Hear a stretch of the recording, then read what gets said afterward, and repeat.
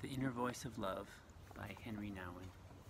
There is a passage I want to read from here, and we read it at our wedding 18 years ago, but it's really for anyone at any time. And um, this is called Love Deeply.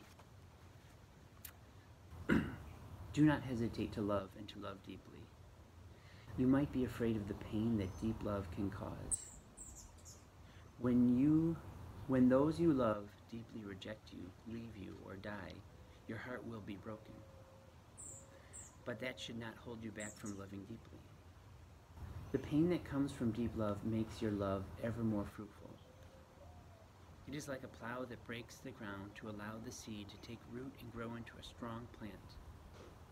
Every time you experience the pain of rejection, absence, or death, you are faced with a choice.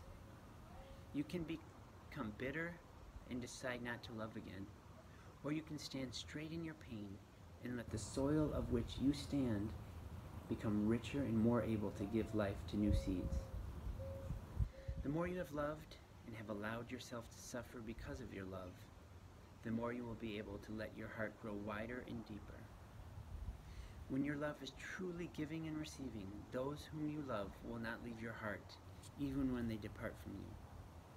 They will become a part of yourself, and thus gradually build a community within you. Those who you have deeply loved become a part of you. The longer you live, there will always be more people to be loved by you and become a part of your inner community.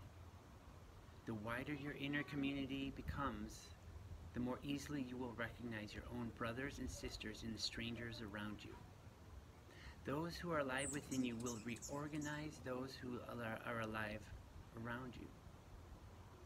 Well, those who are alive within you will recognize those who are alive around you.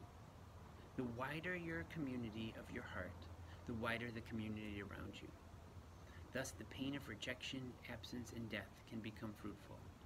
Yes, as you love deeply, the ground of your heart will be broken more and more, but you will rejoice in the abundance of the fruit it will bear. Let us become the kind of people who love deeply. God bless.